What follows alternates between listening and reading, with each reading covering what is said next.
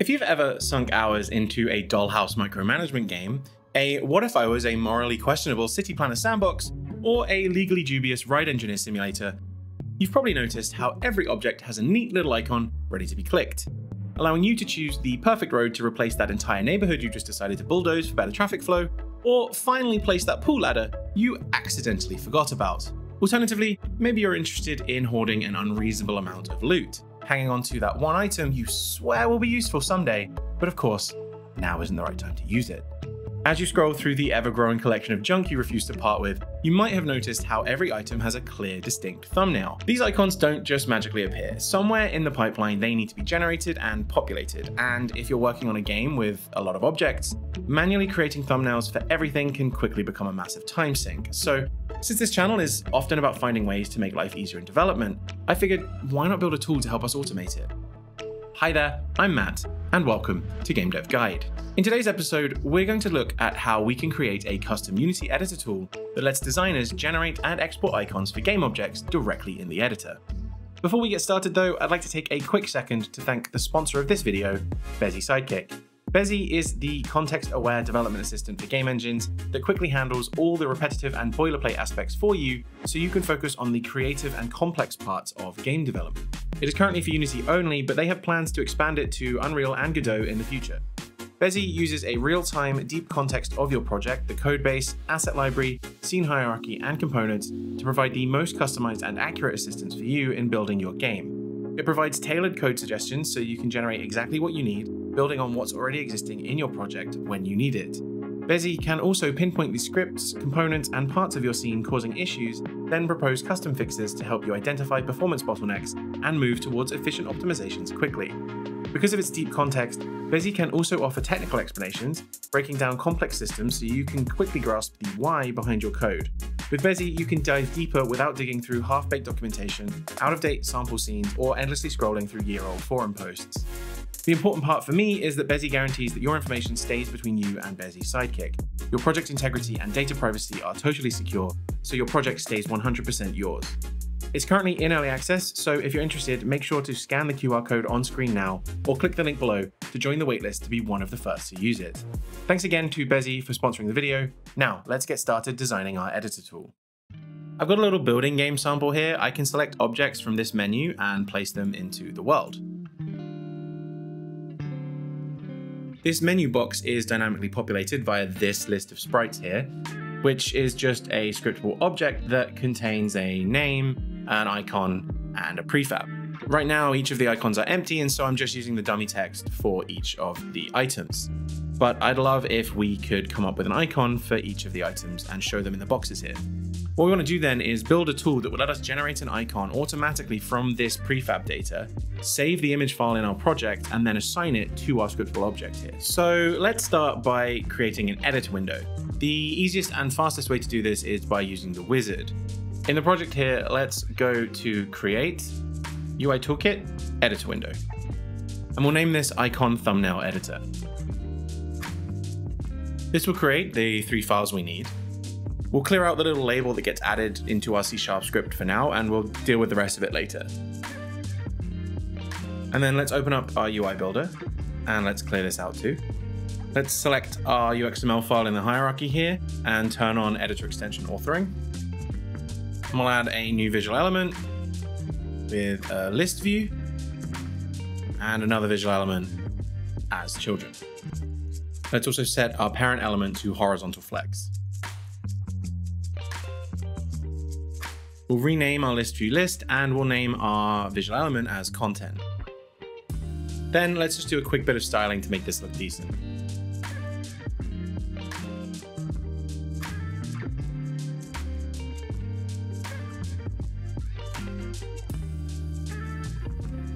So just given it a background and adding some border elements and some padding and that kind of thing.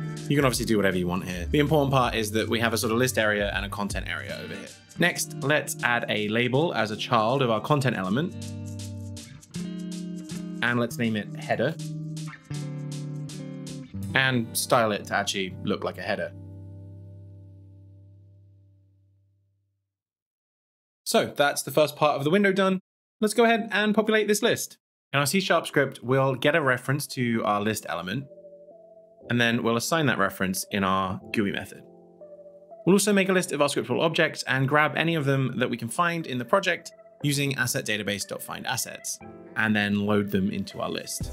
Then we'll assign this list to the item source property of our list view. Let's adjust the menu item here and set the path to something like Tools, Icon Editor. And then in Unity, let's make sure to assign our XML file into the Visual Tree asset property. And now if we go to Tools, Icon Editor and open our window, we should see that we have all of our assets in our list. Now let's handle displaying our selected element. Let's create a new method called onSelectItem and assign it to our selection changed event of our list view. We'll create a reference for a selected asset, and then in this method, we'll assign the selected asset to be the index of the list. By adding the selected asset to the script, we can now take advantage of the binding features in UI Toolkit to dynamically populate some of our fields here. We'll set the data source type in our content to be our actual editor window script. And then as long as we serialize our asset data reference, if we add a binding to our label, we should be able to search for selected asset and grab the label of the asset that's selected. So if we save that, back in our script, we just need to navigate into our content box and set the script as our data source. Now our editor should update depending on what we click in the list. Okay, that's the basic boilerplate for getting our data handled let's move on to the fun stuff and start building out the components to build our thumbnail. What we're gonna do is hook into a neat editor feature called Preview Scene. Have you ever looked at a material or a mesh, you've seen this. It's the little preview that appears in the inspector here. So we're gonna take advantage of this and build our own preview scene in our tool here and we'll use that scene as an output target for the texture that we export. There's quite a few steps to get this working, so I'll do my best to make this as coherent as possible. First, let's make a spot for our future preview scenes image to output to. So we'll make a new little visual element and we'll call this output. I'll set its size to about 256 pixels and align it to the center of our element. In our class, we'll add a texture 2D. Call this preview texture and make sure it's serialized. We can then bind the background image of this element to that texture we just created.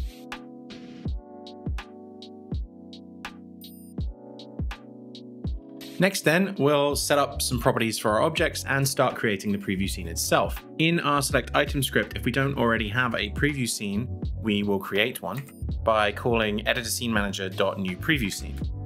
We'll also make sure that there's a camera object and set up some basic properties on the camera. We'll create a new render texture on the camera with our designated size and the format of ARGB float and then we'll move the camera object to the preview scene using the scene manager move game object to scene method. And we'll tell the camera to only output the scene. So now we just need to tell our camera to render our texture. So let's create a method called update camera. And in here, we'll tell our camera to render and we'll create a preview texture if one doesn't already exist.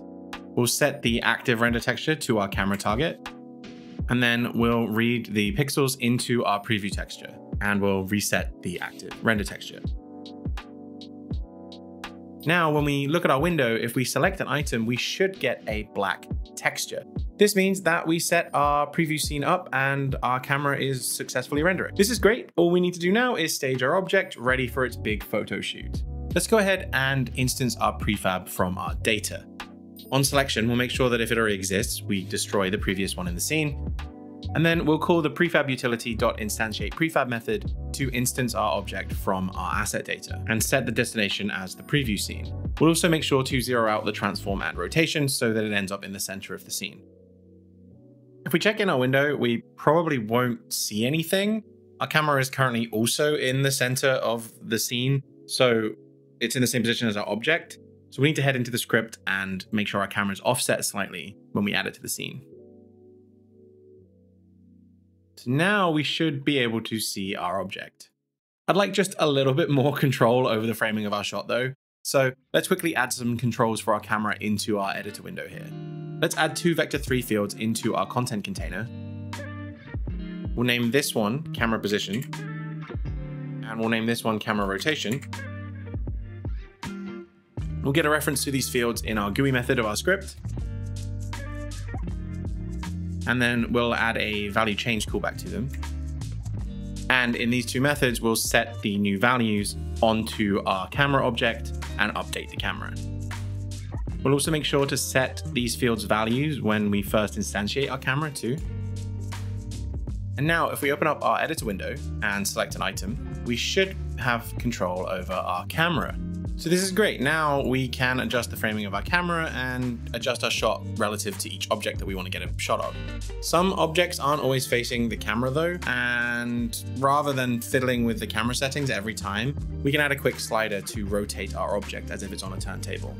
So we'll add a slider and call this object rotation. Set its value between 0 and 359 and add a label. In our script, we'll create a reference to the slider, and same as before, we'll create a change event, and we'll set the object's Y rotation based off of the value on the slider, and make sure to update the camera. And there we are, we now have the basic controls for setting our shots up. We can click on objects, rotate them, reposition our camera, adjust the camera rotation. We've pretty much got everything we need to line up our icons. There are obviously tons of additional features you could add here, such as changing more of the camera settings or maybe even adding additional elements into the preview scene, such as lighting or post-processing. My objects are using an unlit shader, and I think the way they look now is fine for a thumbnail, so I won't be bothering with anything else like that, but I'm sure you can experiment with the contents of your preview scene to meet the demands of your project. We have the basics of what we need for our icons now, so all we need to do is take this texture and save it as an image. In the builder, let's add a save button to the top right here. Then in our code, let's assign a new export method to the button when it's clicked. In this method, we'll set the depth texture mode on the camera and clear the scene color so that we get a transparent image. We'll then update the image rendering on our camera and we'll call a method called save texture as PNG, which we'll flesh out in a moment. This will save our file out. When we're done, we'll set the color back on the camera and update the camera texture again. Our save method is pretty straightforward. We'll take in a source texture and a file name string. We'll throw up a file panel for the user to determine where to save their image. And then we'll use the encode to PNG feature on the texture to get a series of bytes that we can write to disk using the write all bytes method. Now, when we click our save button, we should be able to choose where to save our image. And then if we take a look in our project here, here's our icon. We just need to set it as a UI sprite texture and it's a little dark, but if we uncheck this sRGB box here and set alpha is transparency, we should get our transparent sprite. Excellent. All I have to do now is capture the rest of my objects here and assign the icons into their scriptable object assets.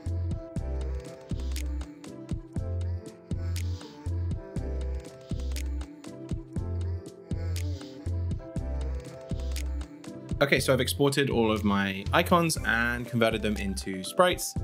What I had to do was assign them to my scriptable object assets. You could obviously write a tool to do this for you, but there's only a few right now, so I'm just gonna go through and do those. Okay, so I've gone through and set all of the icons into my scriptable objects here. Now my UI displays a bunch of icons for all the props and I can browse through my list of available items with these nice little pictures to act as previews.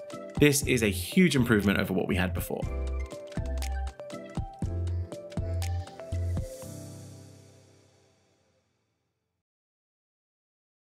As you can see, it's super easy to build and export a tool like this, and hopefully this video has given you some ideas of how the concept can be applied to your own project. But that's about it for now. As usual, I'm just scratching the surface of what this tool could be used for, and I'm excited to hear about how you might choose to adapt this concept for your own needs. So if you've enjoyed this video, don't forget to hit the like button and let me know your thoughts in the comments down below.